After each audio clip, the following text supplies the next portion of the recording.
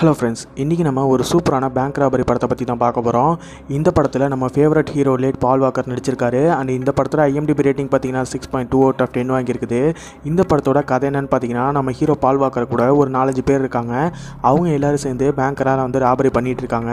But இப்போ அவங்க ஒரு மிகப்பெரிய ஹைஸ்ட்டை வந்து பிளான் பண்ணுறாங்க அண்ட் அந்த ஹைஸ்ட்டை அவங்க போலீஸ் தான் எதிர்த்து எப்படி செஞ்சு முடிக்கிறாங்க அப்படிங்கிறது தான் இந்த படத்தோட ஒரு சிம்பிளான ஸ்டோரி ஸோ இந்த வீடியோவில் நம்ம பார்க்க போகிற மூவி நம்ம பால் வாக்கரோட நடிப்பில் ரெண்டாயிரத்தி பத்தில் ரிலீஸ் ஆன தி டேக்கர்ஸ் இந்த படத்தோட IMDb rating six point two of ten வாங்கியிருக்குது. இந்த படத்தோட கதையை பற்றி தான் இந்த வீடியோவில் டீட்டெயிலாக பார்க்க போகிறோம் and welcome back to Holly Freak நீங்கள் நம்ம சேனலை சப்ஸ்கிரைப் பண்ணாமல் இருந்தீங்கன்னா மறக்காமல் சப்ஸ்கிரைப் பண்ணிட்டு பக்கத்தில் இருக்க பெல் ஐக்கனி கண்டிப்பாக ப்ரெஸ் பண்ணுங்கள் அப்போ தான் நான் அப்லோட் பண்ணுற வீடியோ உங்களுக்கு ஆன் டைம் நோட்டிஃபிகேஷனாக வரும். நம்ம யூடியூப் சேனலோட Telegram channel link Instagram link Facebook link எல்லா லிங்க்கும் டிஸ்கிரிப்ஷனில் இருக்குது ஸோ மறக்காமல் ஃபாலோ பண்ணி வாங்க இன்றைக்கான வீடியோக்குள்ளே போகலாம் இந்த படத்தோட ஸ்டார்டிங் சீனில் ரெண்டு பேர் காரில் போயிட்டுருக்காங்க. இவங்க ரெண்டு பேரும் போலீஸ்காரனுங்க. இவங்க தான் இந்த படத்தில் ஒரு முக்கியமான ரோலை ப்ளே பண்ண போகிறாங்க இப்போ அப்படியே கதை சிட்டிக்குள்ளே வருது. சிட்டிக்குள்ளே நம்ம ஐரி செல்பாவை காட்டுறாங்க. அவரோட பேர் கோசியர். அவர் இப்போ ஒரு ஃபெடரல் பேங்க்குள்ளே போகிறாரு அங்கே நம்ம பால் வாக்கரை காட்டுறோம் அவரோட பேர் ஜி. இவங்க ரெண்டு பேரும் அந்த பேங்க்குள்ளே ஒரு ரகசிய இறக்கி போகிறாங்க அங்கே ஒரு கொரியர்காரன் மாதிரி ஒருத்தன் வரான். அவன் பேர் ஜேக். அவனும் பார்த்தீங்கன்னா இவங்களோட டீமில் உள்ள ஒருத்தன் தான். அவன் கொரியர்காரன் மாதிரி வேஷம் போட்டு வந்திருக்கான். இப்போ ஒரு ஃப்ளோரை க்ளீன் பண்ணுற மாதிரி இன்னொருத்தன் வரான். அவனும் இவங்க டீமில் உள்ளதான் அவன் பேர் ஜெஸ். அவன் நம்ம ஜேக்கோட தம்பி. இவங்க எல்லாருக்கும் தலைவன் மாதிரி இருக்கிறவன் தான் நம்ம கோசியர் இப்போ டைம் ஆயிடுச்சு நம்ம எல்லாரும் வேலைக்கு போகலாம் அப்படின்னு சொல்லிட்டு அவங்க அந்த ஃப்ளோரை க்ளீன் பண்ணுற வண்டியிலேருந்து எடுத்துகிட்டு வந்த புல்லட் ப்ரூஃப் ஜாக்கெட் எல்லாத்தையும் போட்டுக்கிட்டு கொள்ளக்காரங்க மாதிரி ட்ரெஸ் எல்லாம் பண்ணிக்கிட்டு பெரிய பெரிய வெப்பன்ஸோட அந்த எலிவேட்டர்லேருந்து வெளியில் வரானுங்க. அண்ட் இப்போ அந்த பேங்க்குள்ளே நுழையிறதுக்கு முன்னாடியே அங்கே இருக்கிற செக்யூரிட்டி கேமராஸோட அந்த கண்ட்ரோல்ஸ் எல்லாத்தையும் பாம்பு வச்சு வெடிக்க வைக்கிறானுங்க. ஸோ இப்போ இங்கே இருக்கிற செக்யூரிட்டிஸ்க்குலாம் என்ன நடக்குதுன்னு தெரியல. இப்போ அவங்க பேங்க்குள்ளே வந்து அங்கே உள்ள எல்லாரையும் மிரட்டி கீழே படுக்க சொல்லிட்டு நாங்கள் கொஞ்ச நேரம் தான் இங்கே இருக்க போகிறோம் மொத்த பணத்தையும் எடுக்க போகிறதில்ல எங்களுக்கு தேவையானதை எடுத்துகிட்டு இங்கேருந்து போயிடுவோம் அப்படின்னு சொல்கிறானுங்க ஸோ இப்போ இங்கே இந்த செக்யூரிட்டிஸ்லாம் என்னென்னே தெரியாமல் குழம்பிட்டு இருக்கும்போது இவங்க இங்கே மொத்த பணத்தையும் லாக்கருக்குள்ளே அந்த மேனேஜர் அழைச்சிட்டு போயிட்டு எடுத்துகிட்டு இருக்கானுங்க. ஸோ இப்படியே இங்கே பணம் எடுத்துகிட்டு இருக்கும்போது அங்கே இருக்கிற ஒரு பொம்பளை இந்த பேங்க்லலாம் அலாம் சுவிட்ச்னு ஒன்று வச்சிருப்பாங்க பார்த்தீங்களா அந்த சுவிட்சை போட்டு விட்றா ஸோ அப்போ தான் இவங்களுக்கு இங்கே கொள்ளை நடக்குது அப்படிங்கிறது வந்து அங்கே இருக்கிற செக்யூரிட்டிஸ்லாம் தெரிய வருது. ஸோ இப்போ அந்த பொம்பளை கண்டுபிடிச்ச அவன் அப்படியே அந்த பொம்பளை இழுத்துட்டு வரான். ஸோ இப்போ நாற்பத்தாறு செகண்ட்ஸ் தான் இருக்குது இன்னும் அப்படின்னு சொல்லிட்டு ஒருத்தன் கத்துறான். அண்ட் அதே நேரத்தில் இங்கே மொத்த பணத்தையும் எடுத்து எவ்வளோ எடுக்க முடியுமோ அவ்வளோ பணத்தையும் எடுத்து லோட் பண்ணிகிட்டு இருக்கானுங்க.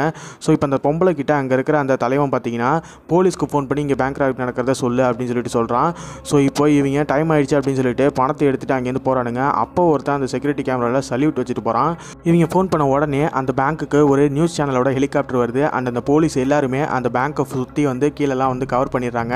இப்போ அங்கே இருக்கிற ஒரு செக்யூரிட்டி கார்டை காட்டுறாங்க. அவன் அசால்ட்டாக சிகரெட் பிடிச்சிட்டு இருக்கான். இப்போ அந்த பேங்க்கோட டாப் ஃப்ளோருக்கு மேலே போயிட்டு மொட்டை மாடியில் போயிட்டு நின்றுட்டு இருக்கான். அங்கே அந்த நியூஸ் சேனலோட ஹெலிகாப்டர் வருது. இவன் இங்கே தான் இங்கே தான் வாங்க வாங்கன்னு சொல்கிறான் அந்த ஹெலிகாப்டர் அங்கே வந்து லேண்ட் பண்ணுறாங்க இப்போ அதுக்குள்ளே இருக்கிற அந்த நியூஸ் சேனலோட ரிப்போர்ட்டர்ஸ்லாம் பெரிய நியூஸ் மாட்டிருக்குது அப்படின்னு சொல்லிட்டு வராங்க. ஆனால் அப்போ தான் இவன் கையிலேருந்து கன் எடுத்து எல்லாரும் கீழே படுங்க அப்படின்னு சொல்லிட்டு கத்துறான். இவனும் அந்த கொள்ளை கூட்டத்தில் இருக்கிற ஒரு ஆள் தான். இவனோட பேர் ஏஜே ஸோ இப்போ இவங்க எல்லாரும் கொள்ளையடிச்ச பணத்தோட அங்கே இருக்கிற அந்த ஹெலிகாப்டரில் வந்து ஏறுறானுங்க. இப்போ போலீஸ்லாம் கீழே தேடிட்டு இருக்கும்போது இவங்க அந்த நியூஸ் சேனலோட ஹெலிகாப்டரில் அங்கேருந்து தப்பிச்சு சிட்டிக்கு வெளியில் வந்துடுறானுங்க.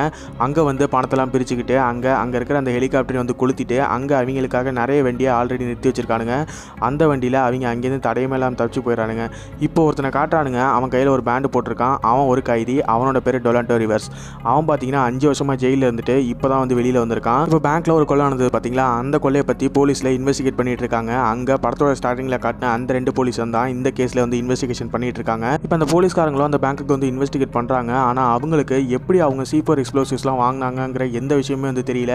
இப்போ ஜெயிலேருந்து ஒருத்தன் வெளியில் வந்தான் பார்த்தீங்களா அவன் பல இல்லீகலான வேலை செஞ்சுட்டு இருக்கிற ஒரு சில ஆட்களை வந்து மீட் பண்ணுறான் அவங்க கிட்ட வந்து நான் இன்றைக்கி தான் ஜெயிலேருந்து வெளியில் வந்திருக்கேன். நான் ஒரு உங்களுக்கு ஒரு வேலை கொடுக்க போகிறேன் அப்படின்னு சொல்லிட்டு அவன் அவங்க கிட்ட வந்து சொல்லிட்டு இருக்கான். பின்னாடி ஒருத்தன் கண் வச்சு நிற்கிறான் கண்ணு மேய்க்கிறதுக்குள்ளே அந்த ஆளை போட்டு அடிச்சுட்டு நான் ஒரு வேலையை பற்றி சொல்ல வந்திருக்கேன். அதை கொஞ்ச நேரம் கேளுங்க அப்படின்னு சொல்கிறான் இப்போ அங்கே கட் பண்ணுறாங்க இங்கே கொள்ளையடிச்ச பணத்தை ஜேக்கோ அவனோட தம்பி ஜெஸ்ஸும் பிரிச்சுட்டு இருக்கானுங்க. அப்போ நம்ம ஜேக் அதில் மார்க்கெட் நோட்ஸ் ஏதாவது இருந்ததா அதை எரிச்சிரு அதை வச்சு நம்ம போலீஸ் வந்து கண்டுபிடிச்சிருவாங்க அப்படின்னு சொல்கிறான் இப்போ ஜேக் என்ன பண்ணுறான்னு பார்த்தீங்கன்னா கீழே அவனோட பாருக்கு போகிறான் அங்கே போய் பார்த்தா அங்கே அவனோட கேர்ள் ஃப்ரெண்ட் இருக்கா. ஸோ அவங்க ரெண்டு பேரும் ரொம்ப நாள் லவ் பண்ணிட்டு இருக்காங்க. அந்த பொண்ணுனா இவனுக்கு வந்து ரொம்பவே உயிர். அந்த பொண்ணுக்கு ஒரு கிஃப்ட்டை கொடுக்குறான். இப்படி கொள்ளையடிச்ச பணத்தை ஒவ்வொருத்தரும் ஒவ்வொரு வகையில் ஜாலியாக செலவு பண்ணிட்டு இருக்கானுங்க. இப்போ போலீஸ்லாம் இவங்கள பற்றி இன்வெஸ்டிகேட் பண்ணி மண்டை காஞ்சி சுற்றிட்டு இருக்கானுங்க. அவங்கள பற்றி எந்த விதமான ஒரு க்ளூமே இவங்களுக்கு வந்து கிடைக்க மாட்டேங்குது. இப்போது நம்ம கொள்ளையடிச்ச டீம் இருக்காங்க பார்த்தீங்களா அவங்களோட பணத்தை எல்லாம் ஒருத்தன் வாங்கி சேஃபாக மாற்றுறதுக்காக ஒருத்தன் வச்சுருக்கானுங்க.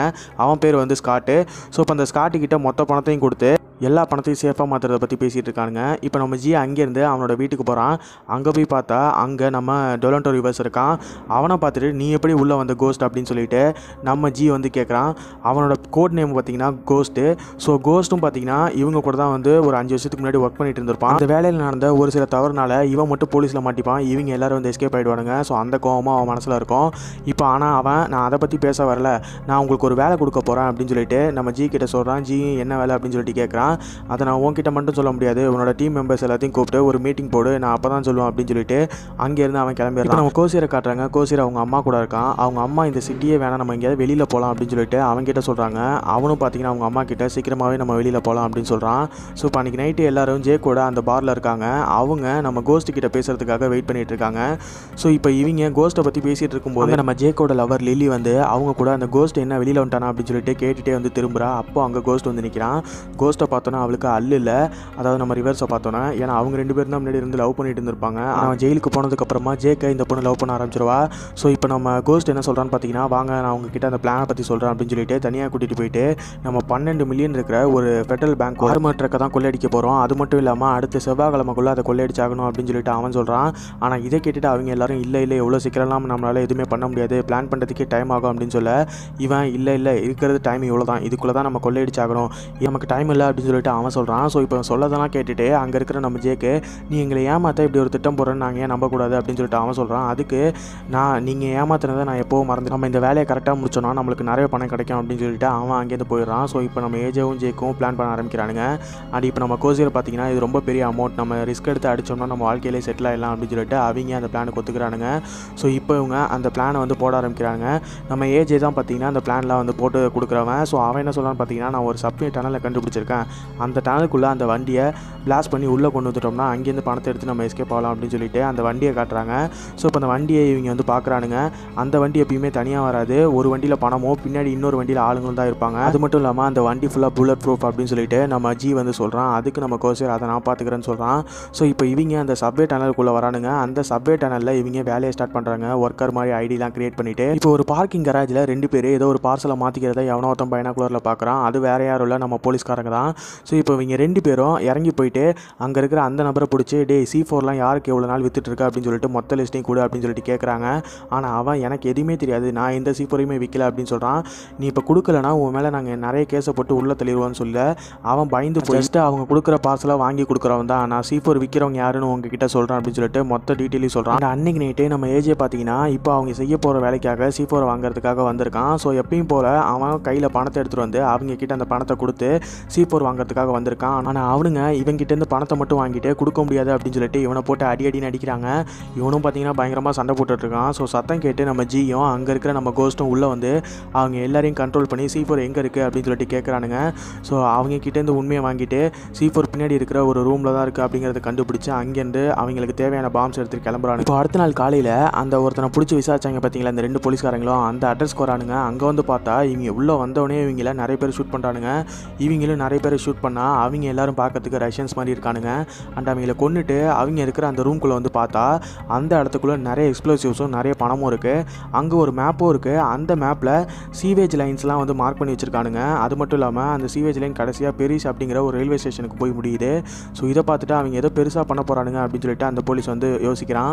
இப்போ சப்ரேட் ஆனதுக்குள்ளே அவங்க அந்த ரோடுக்கு கீழே ட்ரில் பண்ணிட்டு இருக்கானுங்க. ட்ரில் பண்ணது மட்டும் இல்லாமல் அங்கே இருக்கிற செக்யூரிட்டி கேமராஸ் அப்புறம் டிராஃபிக் கேமராஸ் எல்லாத்தையும் அவங்க கண்ட்ரோல்குள்ளே கொண்டு வந்து அதை ஒரு தடவை டெஸ்டிங்கும் பண்ணி பார்க்குறானுங்க. எல்லாமே வந்து பக்காவாக இருக்குது ஸோ இப்படி இவங்க அவங்களோட வேலையை கரெக்டாக பண்ணிகிட்டு இருக்கானுங்க. அப்போன்னு பார்த்து அன்னைக்கு நைட்டு நம்ம கோசியரோட அம்மா பார்த்தீங்கன்னா அவனோட ஹோட்டலுக்கு வந்துடுறாங்க.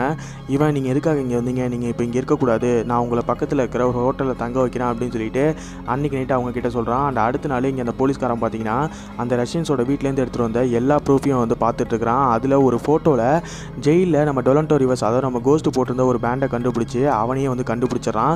ஸோ இப்போ அவனை ஃபாலோ பண்ணிக்கிட்டு காரில் அவன் குழந்த கூட அவன் அப்படியே வந்து பின்னாடியே ஃபாலோ பண்ணிகிட்டு இருக்கான் கோஸ்ட் பார்த்தீங்கன்னா அவனோட டீம்மேட்ஸை மீட் பண்ணுறதுக்காக போயிருக்கான். அந்த இடத்துக்கு அந்த போலீஸ்காரனும் போயிடுறான். இப்போது கோஸ்ட் பார்த்தீங்கன்னா நம்ம கோசர் கிட்ட அந்த வண்டியோட கதை உடைக்கிறதுக்கு ஒரு மிஷினை கண்டுபிடிச்சிட்டான் அப்படின்னு சொல்லிட்டு ஒரு மிஷினோட டிசைனை கொடுக்குறான். ஸோ இப்போ நம்ம கோசரும் பார்த்தீங்கன்னா நான் கண்டிப்பாக அதை வாங்கிடுறேன் அப்படின்னு சொல்லி மீட்டிங்கை முடிச்சுட்டு அவங்க எல்லாரும் அங்கேருந்து கிளம்புறானுங்க. ஸோ இப்போ அந்த போலீஸ் பார்த்தீங்கன்னா இவங்க தான் அந்த பேங்க்கில் கொள்ளையடிச்சு ஆச்சுன்னு கன்ஃபார்மே பண்ணி நம்ம கோசியர் பின்னாடியே காரில் வந்து ஃபாலோ பண்ணிகிட்டு இருக்கான். இப்போ இவன் பின்னாடியே வந்துட்டு இருக்கிறத அங்கே கார் ஓட்டிகிட்டு இருக்கிற நம்ம ஜி வந்து கண்டுபிடிச்சிடறான். கண்டுபிடிச்சது மட்டும் இல்லாமல் அவனை வந்து டெஸ்ட் பண்ணுறதுக்காக ரைட் டேன் லெஃப்ட் டர்ன் சொல்லிட்டு நிறைய டேன் போகிறானுங்க அவனும் இவங்க பின்னாடியே வந்து அந்த நம்பரை நோட் பண்ணுறான் காரோட நம்பரை ஸோ அவனை கொண்டுலாம் அப்படின்னு சொல்லிட்டு இவங்க கன் எடுக்கிறானுங்க. ஒரு இடத்துல காரையும் வந்து பார்க் பண்ணுறாருங்க ஆனால் அந்த போலீஸ்காரன் கூட அவனோட பொண்ணு இருந்ததுனால அப்படியே போயிடறான். ஸோ இப்போ இவன் அவனோட ஆஃபீஸில் அந்த செக்யூரிட்டி ஃபுட்டேஜ் பேங்க்கில் எடுத்த எல்லாத்தையும் வந்து போட்டு பார்க்குறான். ஸோ அதில் உள்ள ஆளுங்களும் இன்றைக்கி நான் பார்த்த ஆளுங்களும் ஒன்று தான் அப்படின்னு சொல்லிட்டு அவனோட அந்த அசிஸ்டன்ட் கிட்ட சொல்கிறான் ஆனால் அவன் எதையுமே வந்து நம்ப மாட்டேங்கிறான். இப்போ நம்ம கோசிர் பார்த்தீங்கன்னா காரில் போயிட்டு இருக்கும்போதே ஒரு கால் அட்டன் பண்ணுறான் அந்த கால் அட்டன் பண்ணோடனே இவனுக்கு பயங்கர டென்ஷன் ஆகுது. ஏன்னு பார்த்தீங்கன்னா இவன் ரூமில் விட்டுட்டு வந்தால் இவனோட அம்மா இவன் வச்சு இந்த எல்லா பணத்தையும் எடுத்துகிட்டு போயிடுறாங்க. அதில் சில மார்க்கெட் நோட்ஸ் இருக்குது ஸோ அந்த நோட்ஸை யூஸ் பண்ணால் போலீஸ் ஈஸியாக கண்டுபிடிச்சிருவாங்க. ஸோ இப்போ அவங்க எங்கே போயிருக்காங்கிறதும் இவனுக்கு தெரியல அப்படின்னு சொல்லிட்டு இவன் டென்ஷன் ஆகுறான். ஆனால் அதெல்லாம் விட்டுட்டு இவன் எப்பயும் போல் அவங்க இப்போ பிளான் பண்ணிட்டு இருக்கிற அந்த வேலையை வந்து கரெக்டாக செஞ்சுட்டு இருக்கானுங்க. இவனுங்க எடுத்துகிட்டு வந்து அந்த சி ஃபோர் எக்ஸ்ப்ளோசிவ்ஸையும் அந்த ரோட்டுக்கு கீழே இவங்க ட்ரில் பண்ணாங்க பார்த்தீங்களா? அதுக்குள்ளே வச்சு நம்ம ஏஜேவும் ஜேக்கும் செட் பண்ணிகிட்டு இருக்கானுங்க.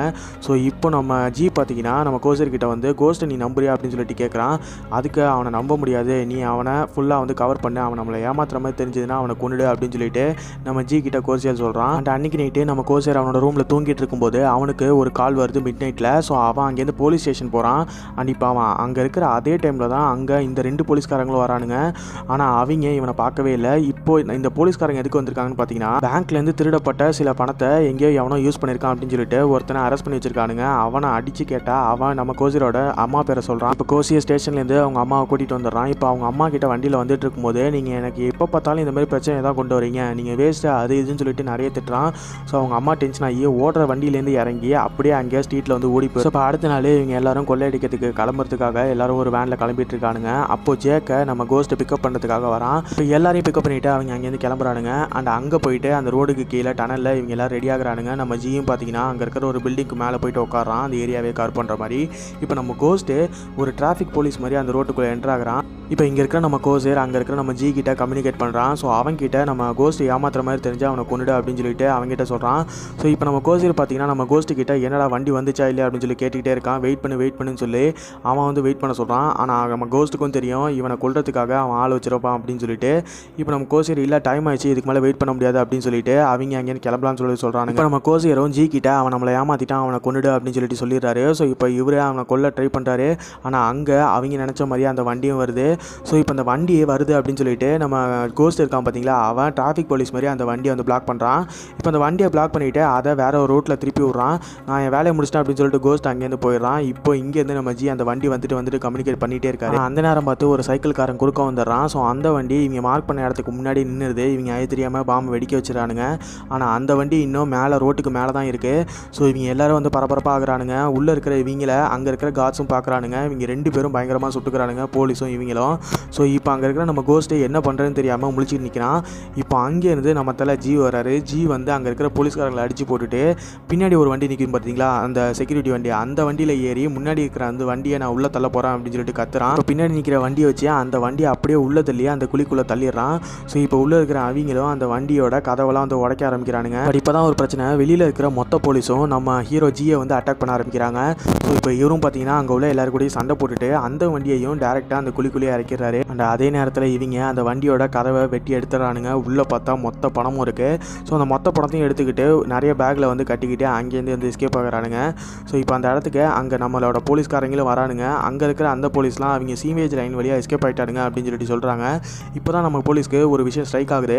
அவங்க அந்த மேப் மேப்பில் பார்த்தா எல்லாமே கரெக்டாக நடக்குது. ஸோ இப்போ அவங்க கரெக்டாக லாஸ்ட்டாக அந்த ரயில்வே ஸ்டேஷனுக்கு தான் போவாங்க அப்படின்னு சொல்லிட்டு கண்டுபிடிச்சி அந்த ரயில்வே ஸ்டேஷனுக்கு வராங்க. கரெக்டாக இப்போ அந்த ரயில்வே ஸ்டேஷனில் நம்ம ஜெஸ் வந்து பணத்தோட போயிட்டு இருக்கோம் அந்த ரயில்வே ஸ்டேஷனுக்கு வர இந்த போலீஸ்காரங்க நம்ம ஜெஸ் பணத்தோட போகிறத பார்த்துட்டு துரத்த ஆரம்பிக்கிறானுங்க. நம்ம ஜெஸ்ஸும் பார்த்தீங்கன்னா பாஞ்சு பறந்து ஓடிக்கிட்டே இருக்கான். அவங்களும் துரத்தி வந்துக்கிட்டே இருக்காங்க ஸோ பணத்தை தூக்கிட்டு ஓட முடியாதனால அந்த பணத்தை ஒரு புதரில் ஒழிச்சு வச்சுட்டு இவன் அங்கே இருக்கிற ஒரு பில்டிங்குள்ளே வந்து ஓடிடுறான். அவங்களும் பின்னாடியே துரத்தி வந்துக்கிட்டே இருக்கானுங்க. ஒரு ரூமில் அந்த இன்னொரு போலீஸ்காரன் தான் பார்த்தீங்களா? அவன் பார்த்தீங்கன்னா இவனை வந்து அப்படியே வந்து பிளாக் பண்ணிடுறான். அங்கே கட் பண்ணுறானுங்க இப்போ இன்னொரு போலீஸ்காரன் அந்த ரூம்குள்ளே வந்து பார்த்தா அந்த போலீஸ்காரனை நம்ம ஜெஸ் வந்து சுட்டிருக்கான். இப்போ இன்னொரு போலீஸ் உதவி கால் பண்ணுறான் இப்போ நம்ம கோஸ்ட் பார்த்தீங்கன்னா எல்லா வேலையும் முடிச்சுட்டு அந்த ஹோட்டலுக்கு திரும்பி வரான். ஸோ இப்போ இந்த ஹோட்டலுக்கு வரும்போதே அந்த ரஷ்யன் கிட்ட ஃபோன் பண்ணுறான் அந்த ரஷ்யன்ஸ் பார்த்தீங்கன்னா எங்களை ஏமாத்திட்டில அப்படின்னு சொல்லிட்டு கத்துறான். ஆனால் அந்த ரஷ்யன்ஸ் கிட்ட இவன் நான் முன்னாடி போட்ட பிளானே இதுதான். அவங்க அந்த பணத்தை அடிச்சிட்டானுங்க. இப்போ நீங்கள் வந்தீங்கன்னா அவங்கள கொண்டுட்டு நம்ம அந்த பணத்தை எடுத்துக்கலாம் அப்படின்னு சொல்லிட்டு அந்த ரஷ்யன்ஸ் கிட்ட சொல்கிறான் ஸோ இவங்களும் பார்த்தீங்கன்னா இருக்கிற கன்ஸ் எல்லாத்தையும் எடுத்துக்கிட்டு நம்ம ஹீரோவோட டீமை போட்டு தள்ளுறதுக்காக வரானுங்க. அதே டைமில் இவங்க கொள்ளையடிச்ச எல்லா பணத்தையும் பெரிய பொட்டியில் வந்து அப்படியே அடுக்கிட்டு இருக்கானுங்க. இப்போ அங்கே வந்து நம்ம கோஸ்ட்டு அவனோட பங்கை வாங்குறதுக்காக கோசர் கிட்ட வரான். இப்போ அவங்க அங்கே டீலை முடிச்சிட்டு இருக்கும்போதே அங்கே கதவு தட்டுற சவுண்டு கேட்குது கதவை திறந்து பார்த்தா அங்கேருந்து நம்ம ஜெஸ்ஸு ஆடி அசைஞ்சு வரான். ஸோ அவன்கிட்ட என்னாச்சு அப்படின்னு சொல்லிட்டு கேட்டால் நான் ஒரு போலீஸை சுட்டுட்டேன் அப்படின்னு சொல்கிறான் இதை கேட்டுட்டு கோசியர் என்னது போலீஸை சுட்டியா? முதல்ல இங்கேருந்து வெளியில் போடா அப்படின்னு சொல்லிட்டு மிரட்டுறான். அதுக்கு அவன் நான் சுட வேண்டிய நிலமை என்னை வேறு என்ன பண்ண சொல்கிறீங்க அப்படின்னு சொல்லிட்டு சொல்கிறான் ஸோ அதெல்லாம் விட்டுருங்க அப்படின்னு சொல்லிட்டு இப்போ அடுக்கி வச்ச மொத்த பணத்தையும் நம்ம ஸ்காட் கிட்ட கொடுக்குறான். ஏன்னா அவன் தானே அந்த ஃபினான்சியர் ஸோ அவன் தான் இவங்களுக்கு பணத்தெல்லாம் மாற்றி கொடுக்கணும்னு சொல்லிட்டு அவங்ககிட்ட மொத்த பணத்தையும் கொடுத்து அனுப்புகிறானுங்க இப்போ அதே நேரத்தில் அங்கே அந்த ரஷ்யன்ஸ்லாம் வரானுங்க. அதை பார்த்துட்டு நம்ம கோஸ்ட்டு பார்த்தீங்கன்னா பாத்ரூம்குள்ளே போயிட்டு ஒளிஞ்சிக்கிட்டு அவங்க எல்லாம் ஹால்வேல தான் இருக்கானுங்க. அவங்கள போட்டு தெளிடு அப்படின்னு சொல்லிட்டு பாத்ரூம்குள்ளே போயிருக்கான். இப்போ கோஸ்ட் பாத்ரூம்குள்ளே இருக்கிறத கண்டுபிடிச்ச அவங்க என்னடா இவன் பாத்ரூம்குள்ளே பண்ணிட்டு இருக்கான் அப்படின்னு சொல்லிட்டு கதவை திறந்து பார்த்தா கதவு திறந்து கிடக்கு அங்கே யாருமே இல்லை. அவன் இவங்களை ஏமாத்திட்டான் அப்படின்னு சொல்லிட்டு இவங்க ரியலைஸ் பண்ணுறதுக்குள்ளேயே அங்கே இருக்கிற நம்ம ஜேஜேவை எவனோ ஒருத்தன் சுட்டு கொள்றான் ஸோ இப்போ அந்த அந்த இடத்துக்குள்ளே அந்த ரஷ்யன்ஸ் எல்லாருமே வரானுங்க. அவங்க இவங்கள பார்த்து பயங்கரமாக ஷூட் பண்ணுறானுங்க இப்போ ரெண்டு பேருக்குள்ளேயும் பயங்கரமான ஃபைட் நடக்குது. இவங்க ஒரு ரூம்குள்ளே வந்து கதவு சாத்திடுறானுங்க. பட் அவங்க பார்த்தீங்கன்னா மொத்த கண்ணையும் தூக்கிக்கிட்டு இவங்க எல்லாரையும் திரும்ப திரும்ப வந்து சுட்டுக்கிட்டே இருக்கானுங்க. இவங்களும் திரும்ப திரும்ப வந்து சுடுறானுங்க. ஸோ கடைசியில் எப்படியோ போராடி அங்கே இருக்கிற மொத்த ரஷ்யன்ஸையும் சாவடிக்கிறானுங்க. ஆனால் அங்கே ஏஜே வந்து செத்து போயிடுறான்.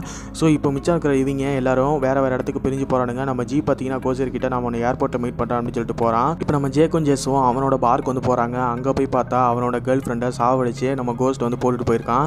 ஸோ இப்போ அவன் பணத்தை எடுத்து வச்சுட்டு அவன் அழுதுட்டு இருக்கும்போது அங்கே போலீஸ்லாம் ரவுண்ட் அப் பண்ணிடுறாங்க.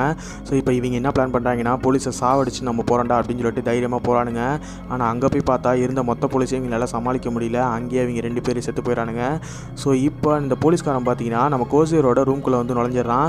ஆனால் அங்கே வந்து நம்ம கோசியர் பார்த்தீங்கன்னா ரூம்குள்ளே யாரோ இருக்காங்க அப்படிங்கிறத கண்டுபிடிச்ச அவன் வெளியிலே வந்து நின்றுட்டு இருக்கான். ஸோ கொஞ்ச நேரத்திலேயே அங்கேருந்து அவன் எஸ்கேப் ஆகிடுறான் ஸோ கார் எடுத்துகிட்டு அங்கேருந்து கிளம்பிடலாம் அப்படின்னு சொல்லிட்டு பார்க்கிங் கராஜுக்கு வந்து பார்த்தா அங்கே அவனோட அம்மா உட்காந்துருக்காங்க ஸோ அவங்க அம்மா கிட்ட ஒன்றும் இல்லை ஒன்றும் இல்லை அப்படின்னு சொல்லிட்டு அவங்க அம்மாவை கூட்டிக்கிட்டு அங்கேருந்து காரில் அங்கேருந்து கிளம்புறான். இப்போ நம்ம கோசியர் அங்கேருந்து எஸ்கேப் ஆகிறத கண்டுபிடிச்சி அந்த போலீஸ்காரனும் பார்த்தீங்கன்னா அந்த காரை பார்த்துட்டு பின்னாடியே அவனோட கார் எடுத்துகிட்டு ஃபாலோ பண்ண ஆரம்பிக்கிறான். இப்போ காரில் போயிட்டு இருக்கிற கோசியருக்கு ஒரு ஃபோன் கால் வருது. அதில் நம்ம ஜி பேசுகிறான் ஜி என்ன சொல்கிறான்னு பார்த்தீங்கன்னா இங்கே ஏர்போர்ட்டுக்கு நம்ம ஸ்காட்டு கிட்ட மொத்த பணத்தையும் கொடுத்துருக்கோமே. அங்கே போயிட்டு கோஸ்ட் எல்லாத்து பணத்தையும் அடிச்சிட்டா என்ன பண்ணுறது அப்படின்னு சொல்லிட்டு கேட்க நான் போயிட்டு ஸ்காட்டுக்கிட்ட பேசுகிறேன் அவனை நான் பார்த்துக்கிறேன் அப்படின்னு சொல்லிட்டு கோசியர் சொல்கிறான் ஸோ இப்போ இங்கே நம்ம ஸ்காட் பார்த்தீங்கன்னா மொத்த பணத்தையும் எடுத்துக்கிட்டு அந்த பிளேன்குள்ளே ப்ரைவேட் பிளேன்குள்ளே போகிறான் பட் அங்கே வர யாரோ ஒருத்தன் நம்ம ஸ்காட்டை வந்து சாவடிக்கிறான். அது வேறு யாரும் இல்லை நம்மளோட கோஸ்ட் தான்.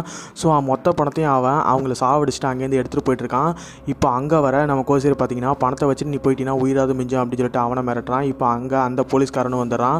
ஸோ இப்போ ஒருத்தனை ஒருத்தனை மாற்றி சுட்டுக்கிறானுங்க. ஸோ இப்படி எல்லாரையும் மாற்றி மாற்றி சுட்டதில் அங்கே நம்ம கோஸ்ட் மட்டும் தப்பிச்சிடுறான். மற்ற ரெண்டு பேரும் மட்டையாயிடுறானுங்க. மற்ற ரெண்டு பேர் மேலேயும் குண்டு பாஞ்சிருது. ஸோ இப்போ அங்கே நிற்கிற நம்ம கோஸ்ட்டை பார்த்தீங்கன்னா இன்னொருத்தன் எவனோ வந்து சுட்டு தள்ளுறான். அது வேறு யாரும் இல்லை. நம்மளோட ஜி தான். ஸோ இப்போ அங்கே உள்ள எல்லாரையும் வந்து சுட்டு கொள்கிறான் அங்கே அந்த போலீஸ் மட்டும் உயிரோடு இருக்கான். ஸோ இப்போ அங்கேருந்து நம்ம கோசியரை கூட்டிக்கிட்டு மொத்த பணத்தையும் எடுத்துக்கிட்டு வண்டியில் கிளம்புறானுங்க. அண்ட் அதோட இந்த படத்தோட ஸ்டோரி முடியுது. அண்ட் இந்த மாதிரியான செமையான நிறைய ஹாலிவுட் மூவிஸோட ரிவ்யூஸ் அண்ட் எக்ஸ்ப்ளனேஷன்ஸ்லாம் நம்ம சேனலில் தொடர்ந்து போகலான்னு இருக்கோம். ஸோ மறக்காமல் உங்கள் சப்போர்ட்டை கொடுங்க. அண்ட் இந்த வீடியோ உங்களுக்கு பிடிச்சிருந்துன்னா மறக்காமல் லைக் பண்ணுங்கள் உங்கள் ஃப்ரெண்ட்ஸுக்கு ஷேர் பண்ணுங்கள் மறக்காமல் நம்ம சேனலை சப்ஸ்கிரைப் பண்ணி வச்சுக்கோங்க. சைனிங் ஆஃப் உங்கள் ஹாலிவுட் ஃப்ரீ பை